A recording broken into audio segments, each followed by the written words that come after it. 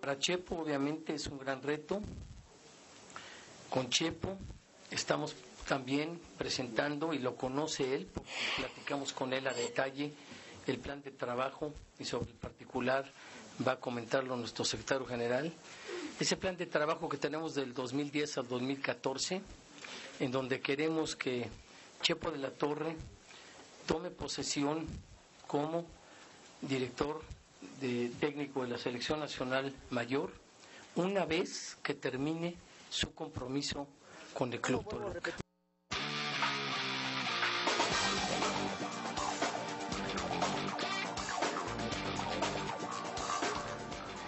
Seguimos con nuestros expertos en muchos temas, además, para analizar eh, lo que viene siendo otra cosa que no es literalmente el fútbol, el aspecto deportivo, sino todo lo que se puede leer alrededor de este tema del nuevo director técnico.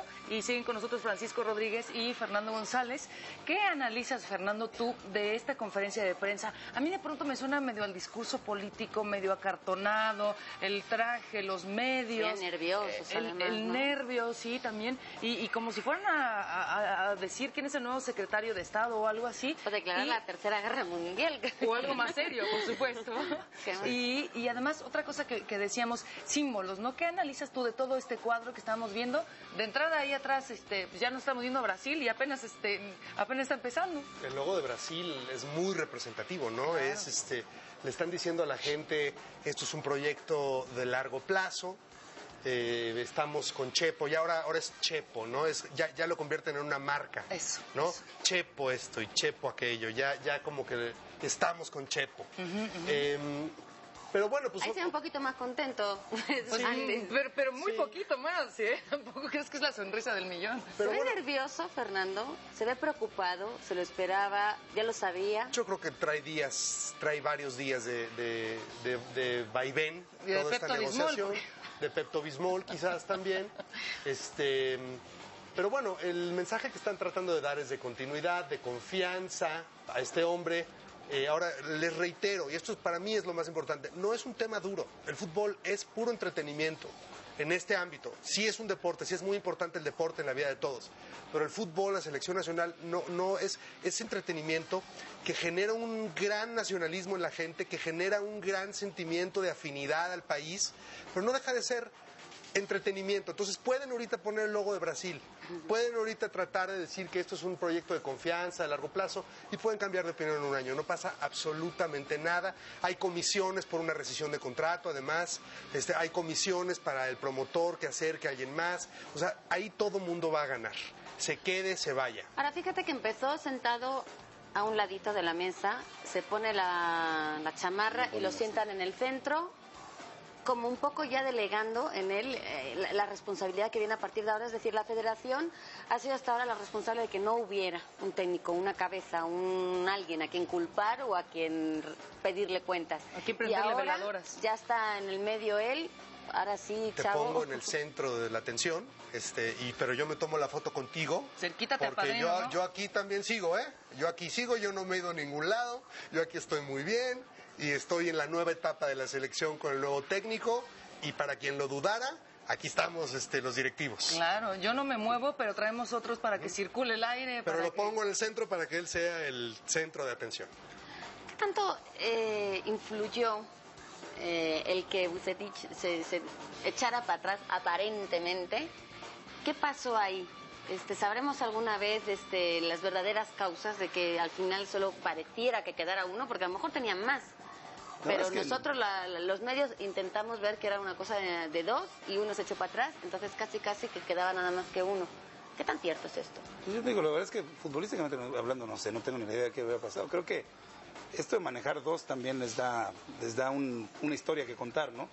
Este, y si hubiera metido tres, hubiera sido más divertido. Pero es, yo coincido perfectamente con Fernando en el tema de la telenovela. Este es un, es un reality nacional, ¿no? Entonces este, empiezan. Solo faltaba que votáramos por ellos, ¿no? Este, un asterisco chepo. el asterisco chepo, ¿no? Este, o sea, es un poquito. Y luego el voto por No de voto, tiempo, porque no de tiempo, no, pero- estoy contento. Sí. Pero la verdad es que pues, se fue Bucetich, queda el Chepo. Yo creo que en mi percepción, y esa es un- una opinión muy personal, ninguna de las dos personas sea tan fuerte como para que nos vamos a cortar las, las- las venas porque fuera uno o el otro, ¿no? Las dos cartas que los dos, nadie puede decir hoy que no son técnicos exitosos, ¿no? Bucetich acaba de ser campeón con el Monterrey y el Chepo lleva el Toluca muy bien. Pues la verdad es que los dos tenían todos los en ese nivel, los dos mexicanos, apostando en un proyecto de continuidad. O sea, mercadológicamente hablando, está bien escogido, ¿no? Porque además, oye, pues, estás dando la oportunidad a un técnico mexicano, un proyecto a largo plazo, y así lo presentas. Entonces, está muy bien presentado. ¿no? Ojalá sea así, ¿eh? Nada sería mejor, incluso para el anunciante, que realmente el técnico durara los cuatro años y que realmente tuviera un proyecto continuo, porque sí te permitiría que tu marca, que se suma a los esfuerzos de la selección, que además, pues, no hay que olvidarlo, las marcas pagan mucho de lo que, que sucede, pagan ¿no? todo, claro. Entonces, este, lo mejor sería que realmente fuera todo lo que presentaron hoy fuera bueno. ¿Qué va a pasar si no es? Bueno, pues va a pasar lo que ha pasado todas las veces, ¿no? Tendremos que ver cómo reenfocamos la estrategia de mercadotecnia para aprovechar lo que sigue, ¿no? Pero se hace porque se ha hecho mil Pero se, veces. se tiene que hacer, y se va a tener que hacer 20 mil veces, ¿no? Eh, el- a la hora del discurso también, en la conferencia de prensa de Bucetich, que además fue en sábado, eh, de pronto también había todo mundo, en todas las redes sociales y demás medios, eh, bueno, va a hablar Bucetich, ¿qué es lo que va a decir? Muchos esperábamos que se va a echar para atrás, ¿no? Yo creo que mucha gente pensó eso y además también utilizó este argumento que es irrefutable en el momento que dice, es mi familia, mi prioridad, eh, él es viudo, entonces también, bueno, podemos, podemos eh, creer este argumento porque no es nada sencillo, pero además mencionábamos hace un momento también, a lo mejor él está en un, en un, en un momento en donde le está yendo muy bien, el papá que se mete a ¿Para este paquetón loco, ¿para qué complicarse? O sea, a lo mejor ahorita está muy bien donde está. De- sí, de- el, el momento, eh, y bueno, no se nos puede olvidar, bien lo decías Francisco, tenemos una memoria muy cortoplacista. Ahora todo es Chepo, y bueno, vamos con el Chepo hacia adelante y todo es del, del Chepo en adelante. Hace menos de dos semanas traíamos un escándalo con los jugadores, Ah, traíamos claro. la salida de Néstor, traíamos todo el tema. del cepo. ¿no? Todo esto, este, y entonces este, todo, todo, todo el temblor que está habiendo hacia adentro de la federación, en el cual nada, nada es certero en estos momentos. Entonces, pues también, digo, yo respeto mucho siempre los motivos familiares, pero también eh, hay que aceptar que en estos momentos la, selección es la rifa del tigre. Y entonces a lo mejor yo prefiero que llegue otro que en estos momentos y luego este pues, es volviendo a la- a la analogía de la telenovela, es una cuestión de rating. Las televisoras cortan la telenovela cuando no tiene rating y meten otra, ¿no? Entonces, bueno, pues a lo mejor si esta novela no tiene rating en un año, pues la vamos a cortar y entonces llego yo, el nuevo protagonista de la nueva novela, en un momento en el que haya otro, otra sensación hacia adentro de la federación, ¿no? Oigan, ¿les parece bien si, si vivoreamos un poco? Eh, que es- que- que el, el lenguaje no verbal es muy importante. Muchas veces no escuchamos lo que están diciendo, no lo vemos nada más en la cancha. ¿Qué, qué puedes analizar tú, digamos, del lenguaje no verbal de Chepo de la Torre? Esto es un poquito antes de que le dijeran que iba a ser el próximo director técnico, pero ¿cómo, cómo lo ves? Nunca se ha caracterizado él por tener un magnífico rapport, ¿no? Con, con los medios. Y lo digo con todo respeto. Hay Claro, mucha gente claro. muy talentosa, seguramente en el ámbito futbolístico es súper talentoso, este, pero nunca se ha caracterizado él por, por ser este, un, un amorcito con la cámara, ¿no? Eh, y bueno, pues este, a ¿Y mí... sí debería, Fernando? No necesariamente, no necesariamente. Lo que pasa es que hoy en día este, Digo, se sí me ocurre pesa el caso mucho de Mourinho, tema, que también es como tratado como el peor de los peores, y sin embargo con resultados callas la boca a todo el mundo, ¿no? Y además, volvemos a lo mismo, no es un tema duro. O sea, un político no se puede dar el, el lujo de ser pedante, no se puede dar el lujo de, De ser caime bien. mamila Ajá. o hiperlactante, como Pero quieran sí. ustedes. Pero, pero en el fútbol, pues es hasta parte de la historia y parte del desplante. Y Ahí está Maradona, ¿no? ahí está, ahí está Hugo, ¿no? Hugo, Eso está vendo. que te puede caer mal y puedes pensar que, pero pues nadie le quita haber sido el mejor jugador mexicano de todos los tiempos, ¿no? Eso no está en discusión. O bueno, yo creo que no está en discusión. No. hechos, ¿no? ¿Y el hechos. Chepo debería suavizar algo, debería cambiar algo en su lenguaje no verbal o no? Precisamente por ser un elemento no duro, este, le podemos... A mí me gusta que cuando están entrenando, eh, anden entrenando. Me gusta que usen, usen el, el uniforme del equipo cuando están en el campo entrenando. Me gusta que se pongan un traje y una corbata cuando, cuando van al partido. ¿No te gustó el cinturón? Porque no, el cinturón me parece horroroso. Esos malditos cinturones los venden afuera del metro, ya en buena onda.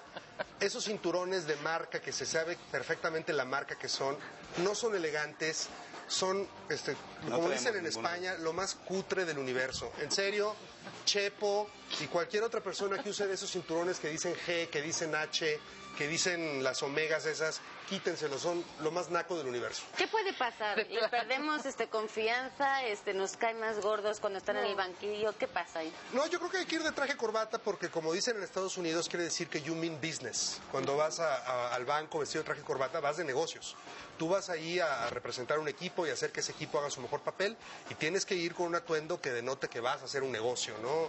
Este, me no me gusta cuando salen con, con los pants a la banca los técnicos, me parece falta de respeto al público incluso, a mí. Eso es un punto de vista gestos, personal. su gesticulación, que le hemos visto bastante prudente, yo podría decir, tanto en sus palabras como en lo que decía. No sabemos si sabía ya antes del lunes si él era o no era el elegido, pero de alguna manera estuvo prudente, quiso este, esperarse. El lunes tampoco es que se viera demasiado expresivo, pero de alguna manera él es Es reservado. Cauteloso, sí. Él es reservado, no, está bien. Y también está bien cuando avientan la botella de agua y hacen un berrinche. Está bien, es, es un show. Eh, Es decir, eh, ca- cada cosa en su lugar. Cuando tienes que mostrarte como director técnico en otro tipo de, de evento, te muestras de traje, bien vestido. Cuando estás en la cancha, ponte tus pants y no te pongas de, de diva, ¿no? Por así decirlo. Y eh, también. Yo creo, no sé cuál sea su opinión, pero yo creo que también, aunque seas muchas veces muy pasional, muchos, muchos avientan la toalla y Hugo Sánchez se quitaba el saco y lo aventaba, pero muchos otros también se cuidan mucho, sobre todo en un momento como este, yo creo que necesitan, aunque sean muy pasionales, tener como esta, esta cautela de tampoco empezar a manotear el, el día que, que recibes a la selección. ¿no? Sobre todo que van a ser estudiados en cada programa nocturno 20 veces.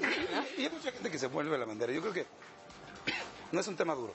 Pero a veces queremos hacer la selección como México. O sea, Eso, de hecho, claro. yo, yo digo, ojalá no sería lo mexicano aunque no juegue la selección, ¿no? Sí, sí, O sea, sí. porque en este país sale lo mexicano cuando juega la selección, ¿no?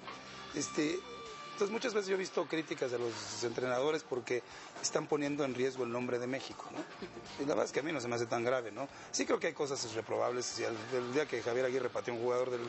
Digo, no es porque sea Javier, no es porque sea México, Si es porque está Evo mal. Morales, ¿por qué no lo va a poder hacer Aguirre, no? Sí, bien, pero aunque lo haga está mal, ¿no? O sea, no es un tema correcto, pero es un tema de comportamiento.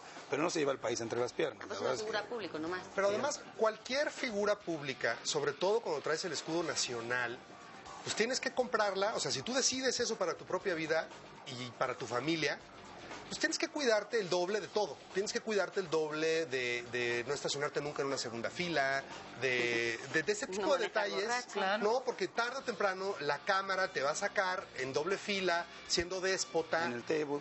o- En el exact- table. Exactamente. ¿no? Porque por algo les pagan lo que les pagan también, ¿no? Son- de eso vamos a sí. seguir hablando después Sí. del tema económico, ¿no? Exactamente, ahorita regresamos. Ah, además también tenemos el oráculo que nos va a decir cómo le va a ir al Chepo de la Torre con la selección, así que no se vaya. Ahorita regresamos con dineros y el futuro en términos de la selección y Chepo de la Torre.